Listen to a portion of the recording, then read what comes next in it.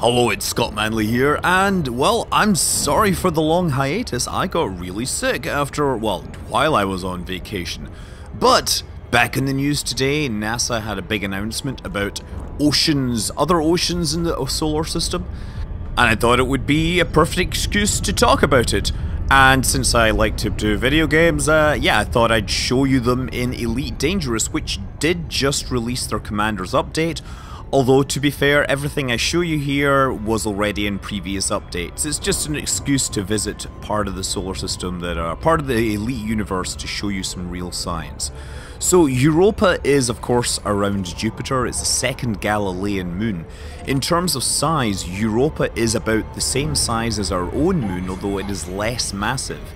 Now, if you have the pass in Elite Dangerous to visit the solar system, you can go to Europa and there is actually a landmark on the surface which a tourist a tourist landmark which you can fly to and it's very convenient because it will show you where these ice geysers are.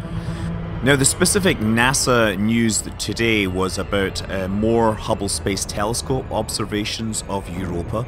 It's uh, not the first time that they've observed geysers or jets coming off of the surface of Europa.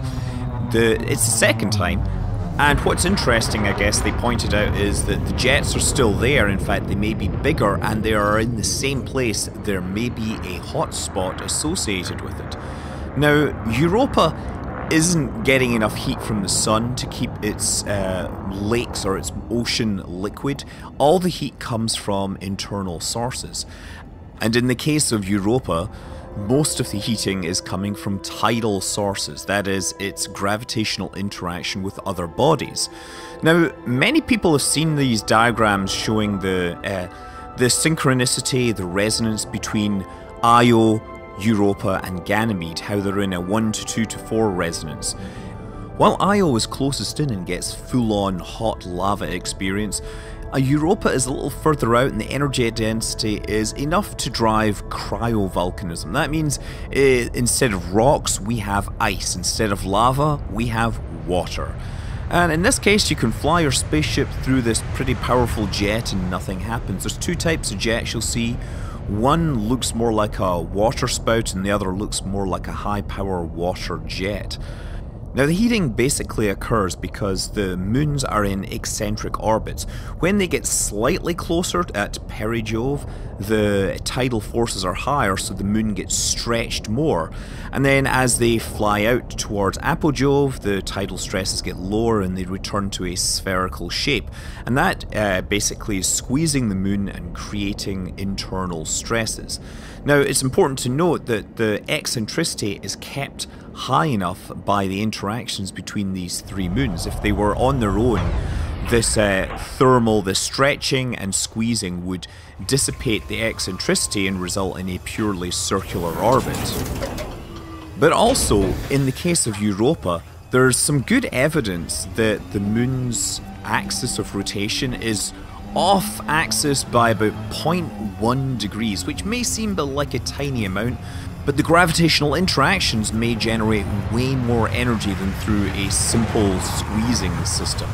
Anyway, yeah, in the SRV and Elite, of course, you can jump into these little uh, spouts and they will kick you high into the sky. Uh, you have little rockets, of course, on your spacecraft, or, or, sorry, on your rover to help you control it. I've only made it up about one kilometer here, not really pushing my luck too much. If you do keep coming up, you will come down a lot harder, so uh, be careful if you want to bring your SRV back in one piece. The more mundane water spouts, well, I'm not even sure this one has any energy left, and I think it's just dying on me. Yeah, there it goes. It's, it's barely working and it won't give me any lift.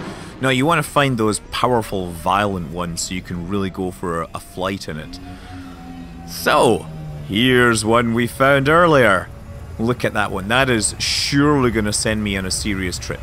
Ooh, if, if I lose an SRV, who cares? I can afford it. Ah, there we go. Okay, so using these jets, you can actually get some semblance of control, and if you pitch the nose down, you can get uh, lateral velocity. The only thing is, I haven't figured out how to get any roll control on these SRVs.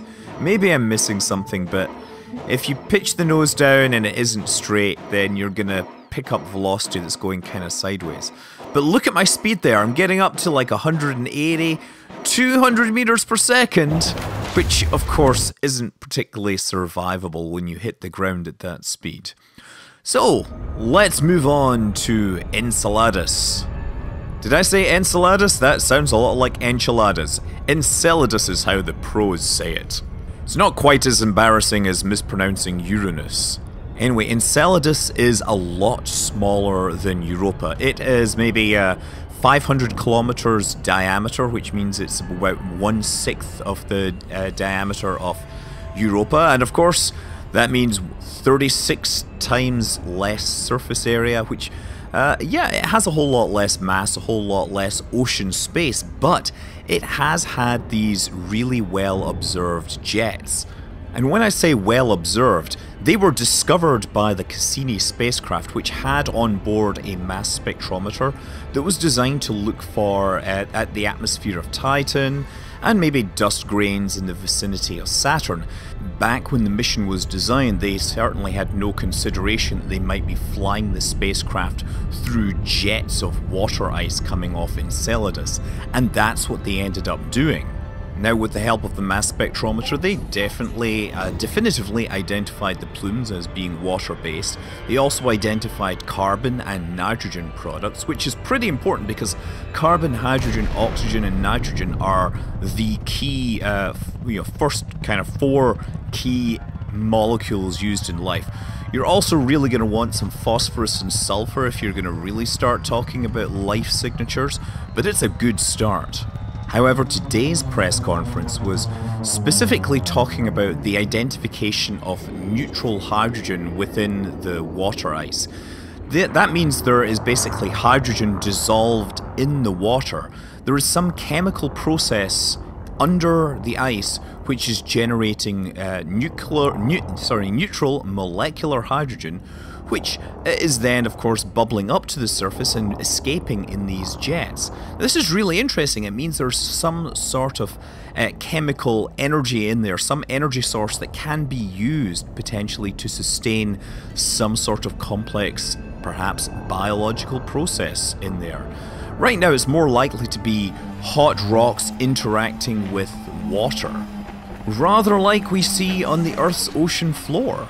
The ocean floor on Earth is pretty barren as far as life is concerned, but when you get one near these hydrothermal vents, they become veritable oases of life in the deep dark of the ocean. Cut off from sunlight, this source of energy are these vents rather than photosynthesis. This vent doesn't have life, but it does have a, a little crystalline fragment I could harvest. Let me try and get in over there. It's unfortunately too... Oh! And the thing has changed from being a super powerful jet to a rather more benign water jet. Well, I won't be going for a ride on that anytime soon. Oh yeah, I mean, I know I died on the last one, but... Interesting fact, I got up to over 200 meters per second on that other, uh, on Europa. Well, 200 meters per second is above the orbital velocity of Enceladus. And I think the jet appears to have kicked that fragment away, so... Oh, but it's turned back into a powerful jet. Time to go for a ride and see if I can actually take this little uh, rover into orbit. Yeah, as I mentioned, Enceladus is pretty small, so its orbital velocity is about 170 meters per second, its escape velocity is 240. So I should be able to challenge that if I do this just right. That means pitching forwards about 45 degrees to get lift and lateral velocity and hoping that, well, hoping that I get fast enough before the physics kills me. And there we go. Now get this pointed the right way and start thrusting. There we go. Okay. Get nose down and then start watching this picking up speed here. There we go. It says negative. I have no idea how to measure velocity, but it does look... I think I'm going to go this way. So, the press conference also talked about future missions to potentially investigate these targets. Now, right now, there is the Europa Clipper mission, which does look like a dead cert to happen in the future, in the next, uh, in the next decade. However, you know, there's Europa and there's Enceladus, and there's a lot of people that really want to take a look, a closer look at Enceladus because that has been studied far more. When Galileo went, this Galileo spacecraft went there, it didn't have the instrumentation and it didn't have the bandwidth. It was crippled. So the amount of data it was able to collect on the on Europa was really insufficient to actually determine composition and everything. So there's the argument that Enceladus perhaps is a better bet looking for life since we've already positively identified most of the materials. On the other hand, Europa has about 40 times as much water volume as Enceladus, so uh, if life were to form, it would be more likely to uh, more likely to have formed in that volume than on Enceladus. Personally, I think we should just send missions to both of those.